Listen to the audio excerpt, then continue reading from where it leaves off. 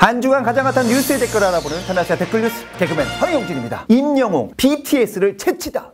지난 4일이었죠. 지니뮤직은요. 지니 이용 고객들을 대상으로 12월 한 달 동안 올해의 가수 투표를 실시한 결과 임영웅이 72만 표 이상을 득표해서 1위에 선정됐다고 밝혔습니다. 임영웅은 전체 득표율 중 32%를 차지했습니다. 현재 임영웅의 대표곡이죠. 이제 나만 믿어요는요. 지니 차트 트롯 부분에서 1위를 차지하고 있습니다. 2위 역시 트롯 가수죠. 김호중이 44만 표 가까이 득표를 했고요. 3위는요. K-팝 신드롬을 일으킨 바로 방탄소년단이 올랐고요. 22만 표 이상 득표를 해서 전체 득표율 10%를 차지했습니다. 여기에 수많은 댓글이 달렸습니다. 임영웅님 올해 가수 1위 압도적인 표차로 대단한 분임을 다시 한번 증명되었습니다. 울영웅님 넘사벽 확인하셨죠? 기부도 넘사벽, 멋짐도 넘사벽. 울영웅님 사랑합니다. 70 넘도록 지금도 드라마나 가요 듣지 않습니다. 그런데 나의 길을 의심했습니다. 영웅님의 노래가 내 마음을 흔들어 놨습니다. 역시 누가 영웅님을 따라오겠습니까? 지금 온 세계가 코로나로 인해서 얼마나 힘듭니까? 영웅님 노래 들으면서 하루하루 버티고 있습니다. 저는 아미입니다. BTS만큼 임영웅님 노래도 좋아해요. BTS 임영웅님 두 분 같이 노래하면 참 좋을 것 같아요. 아이돌보다 더 높은 점수로 1위 정말 대단합니다. 영웅님은 이제 대한민국 보물입니다.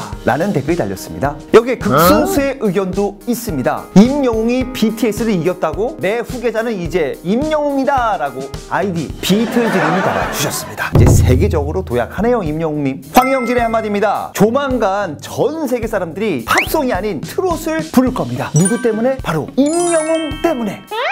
지금까지 테나시아 댓글 뉴스 개그맨 황영진이었습니다.